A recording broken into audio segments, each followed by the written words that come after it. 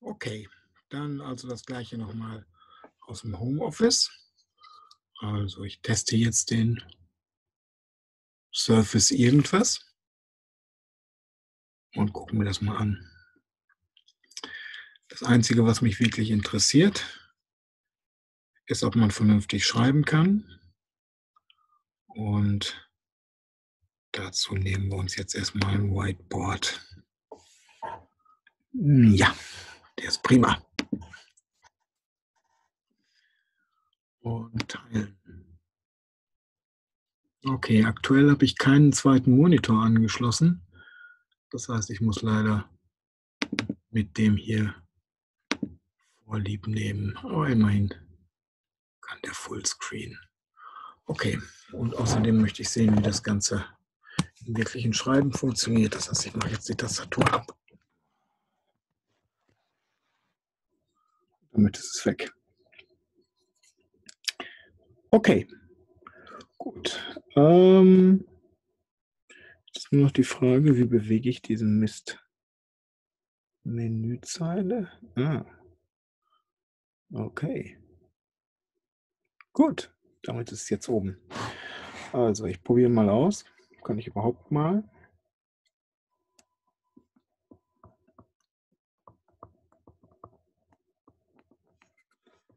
Hm, es ist leider nicht so gut wie bei dem eigentlichen ähm,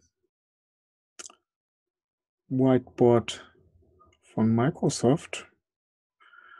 Äh, okay, gut. Also, was uns jetzt als erstes mal interessiert, wir wollen Differentialgleichungen herleiten und äh, das bedeutet, dass wir zunächst mal fragen müssen, äh, wie kommen überhaupt Ableitungen in die Definition oder wie kommen die überhaupt in die Realität rein? Und die einfachste Darstellung, die, die einfachste blumige Definition der Ableitung ist ja immer, naja, das ist die Steigung der Tangenten in der, an eine Kurve in einem Punkt.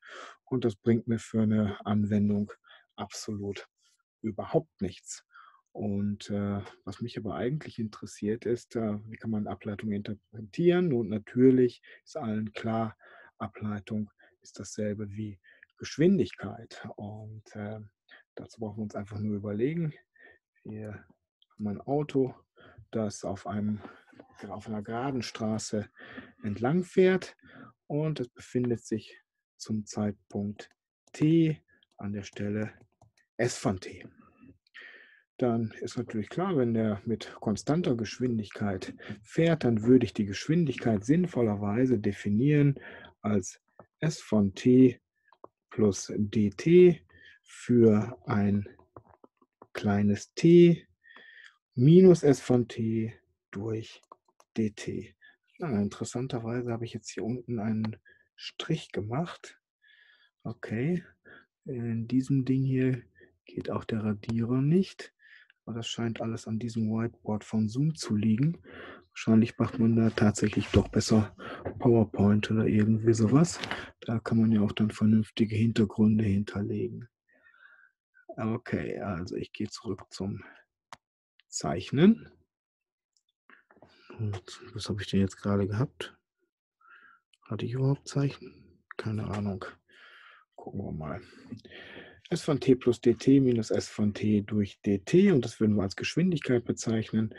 Und äh, naja, wenn die Geschwindigkeit nicht konstant ist, dann äh, würden wir das dt möglichst klein wählen um die Geschwindigkeit an einem Punkt, an einem Zeitpunkt s von t zu definieren.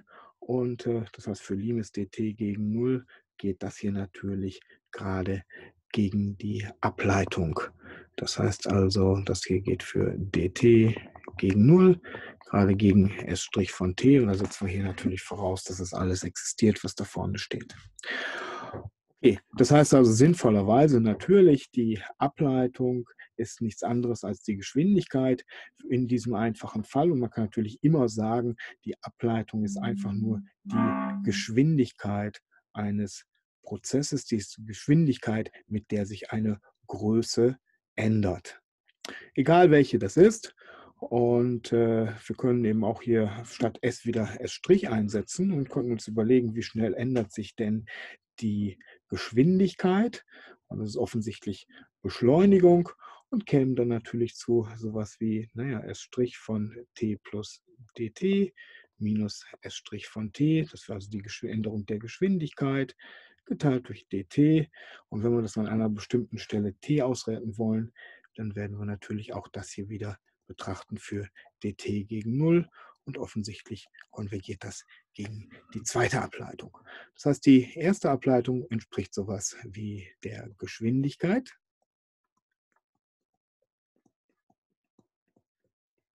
Üblicherweise v.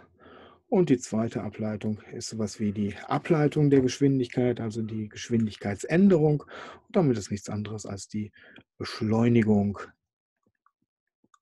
üblicherweise A für Acceleration und äh, naja, die kann natürlich auch negativ sein, wenn es sich um eine Verzögerung handelt. Ja, okay, damit ist uns schon mal klar, was die ersten und zweiten Ableitungen bedeuten und äh, na, wir werden gleich sehen, dass jetzt ganz natürlich tatsächlich äh, ganz natürliche Aufgaben automatisch zu einer Differentialgleichung werden, so wie Sie sie aus der Analysis 1 kennen.